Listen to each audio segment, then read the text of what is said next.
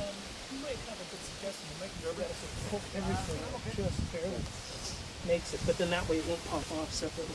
I don't know. Why? It's not open enough. Well, there's, I think, I think it, this is a spot that has the least amount of bugs from what I can tell.